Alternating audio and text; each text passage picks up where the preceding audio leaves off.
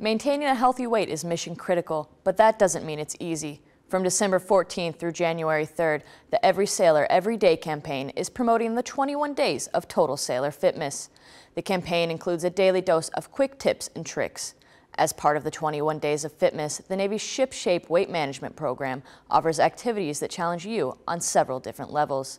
The program focuses on nutrition, physical activity, and mindset.